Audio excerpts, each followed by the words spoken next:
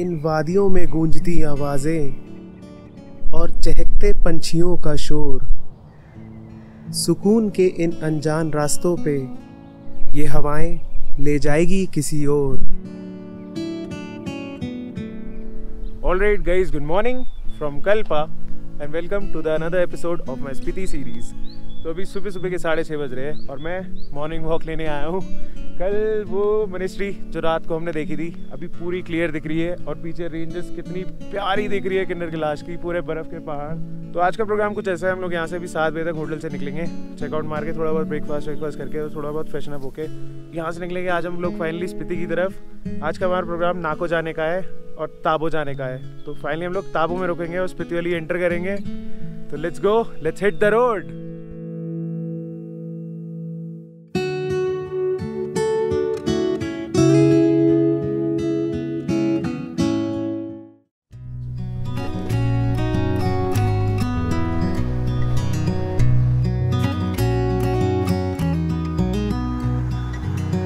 इसी के साथ शुरू हुई अपने अगले सफ़र की शुरुआत, ताबो।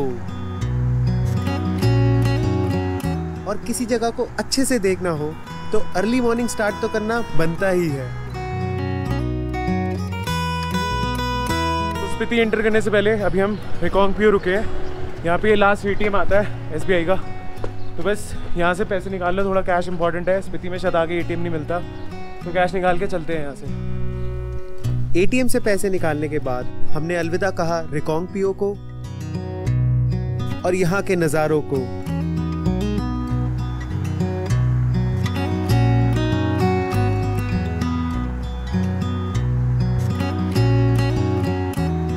और फिर हुआ एक छोटा सा स्टॉप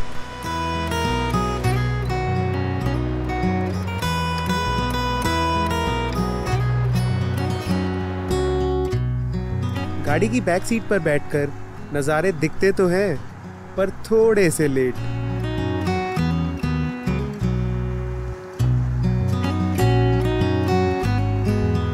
जैसे जैसे हम स्पीति की तरफ़ आगे बढ़ रहे थे, मौसम, हवा, नज़ारे, सब बदलते जा रहे थे। पेड़ पौधों की हरियाली तो मानो पीछे ही छूटती जा रही थी। तो अभी हम on the way to Spiti हैं। On the way to Nako है। पीछे मेरे ये एक पॉइंट आया है जहाँ पे हम रुके हैं। यहाँ पे चाइना से आ रही है सतलुज और उधर से आ रही है स्पिति रिवर तो यहाँ पे उनका संगम हो रहा है। बहुत ब्यूटीफुल पॉइंट है। पीछे एक ब्रिज भी बना हुआ है।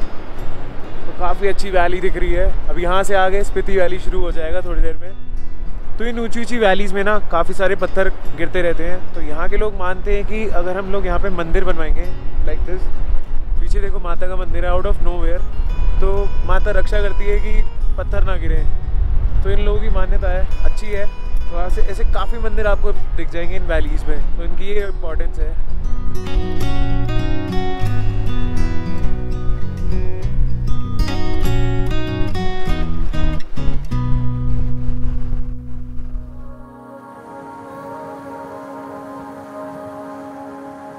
खाब ब्रिज पार करते ही दुनिया मानो ख्वाबों की तरह ही बदल गई। इन बंजर पहाड़ों की महफिल देख लगा जैसे दुनिया इन्हीं में कैद है।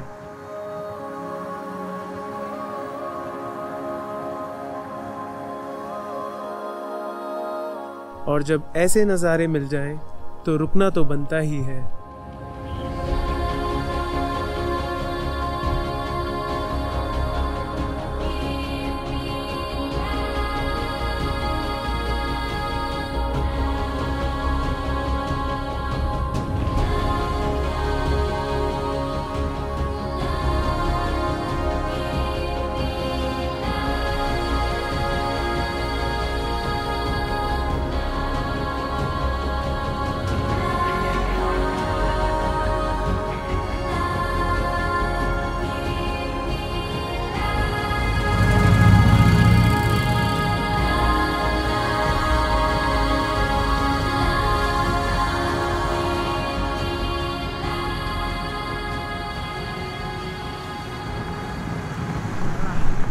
झूले झूले फ्रॉम नाको।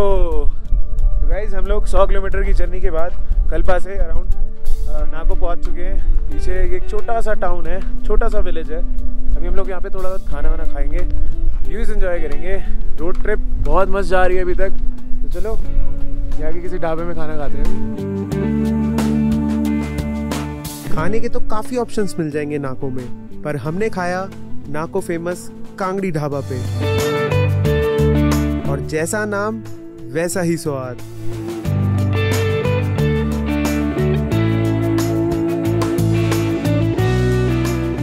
तो नाको में देखने के लिए क्या है? यहाँ पे एक सेक्रेट लेक है, जहाँ पे शायद हम लोग नहीं जाएँगे। बाकी यहाँ पे एक हेलीपैड है पीछे, और एक टॉप है एक नाको का। वो रहा, ऊपर हम लोग अभी वहाँ तक जा रहे हैं। तो चलो, चलते हैं ऊपर तक।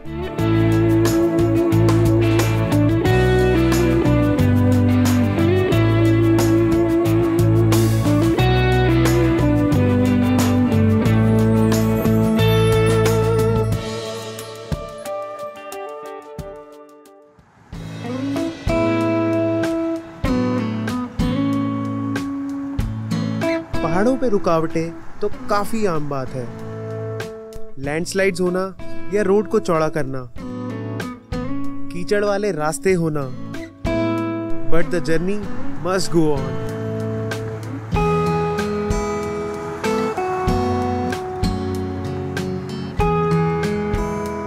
और इन मस्ट गो ऑन वाले खूबसूरत रास्तों के साथ हमने फाइनली एंटर किया स्पिति बॉर्डर और फिर निकले स्पीति की very first destination Gue monastery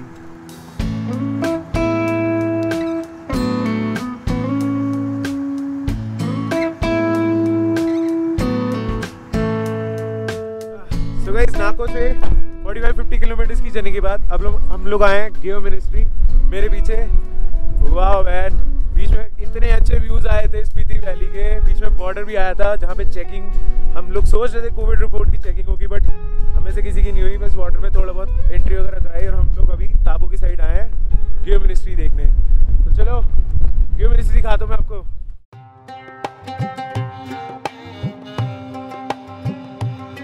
gave ministry लोग 500 साल पुरानी शांगा टेंजिन की मम्मी को देखने आते हैं। ये नेचुरली प्रिजर्व मम्मी 1975 के स्पीति के अर्थक्वेक में एक डैमेज टूम के अंदर से मिली थी। जिसके दांत और बाल के साथ साथ आज तक नाखून भी प्रिजर्व्ड हैं। शांगा टेंजिन एक बुद्धिस्ट मॉन्ग थे who mummified himself in the 15th century कहते हैं उनके विलेज को एक स्कॉर्पियंस के प्लेग का सामना करना पड़ा था, और तब उन्होंने विलेज को बचाने के लिए खुद को ममिफाई किया, और उसके बाद उनके पूरे विलेज को स्कॉर्पियन से आज़ादी मिल गई। अब इसमें कितनी सच्चाई है बॉस ये तो नहीं पता।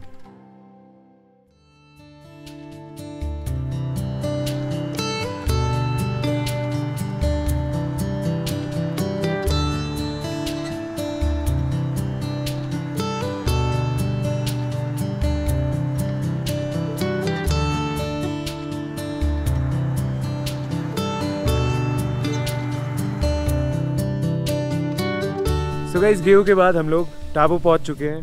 पीछे हमारा home stay Kisang home stay तो आज हम लोग अब यहीं रुकेंगे। यहाँ पे आके हम लोगों का वेलकम डॉगीज ने किया है। थोड़ा थका पड़ा हूँ मैं, लेकिन यहाँ पे एक मोनेस्ट्री है। वो शायद हम लोग एक्सप्लोर करने जाएँगे। तो देखते हैं क्या सीन बनता है। वैसे तो हम केसांग में रुकने वाले थे, पर केसांग वाले के पास जगह नहीं थी तो हम अब डी चैंगलिंग में रुकने वाले हैं। तो ये भी एक होम स्टे ही है पीछे मेरे। वाह बड़ा प्यारा सा बना हुआ है। तो मैं अंदर से दिखाता हूँ आपको।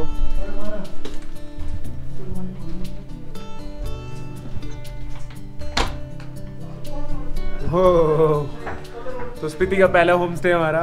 बहुत प्यारा सा है, छोटा सा रूम बना हुआ है। विंडो भी है यहाँ पे, इतना प्यारा नज़ारा दिख रहा है यहाँ से। ताबो दिख रहा है और वो मोनेस्ट्री की टॉप दिख रही है, छोटी सी।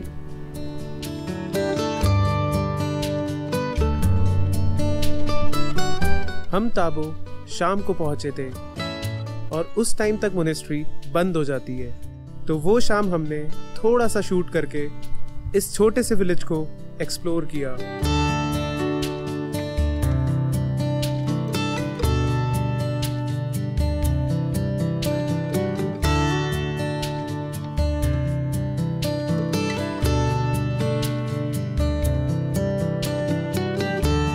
तो ताबो की मिनिस्ट्री अभी हम लोग बाहर से ही एक्सप्लोर कर रहे हैं बिकॉज़ यहाँ पे अभी बंद हो चुका है टाइम हो चुका है। तो कल सुबह हम लोग आएँगे और यहाँ के शायद अंदर के दर्शन करेंगे। अंदर शायद कैमरा भी अलाउड नहीं है तो आई थिंक कोई सेंस भी नहीं बनता था।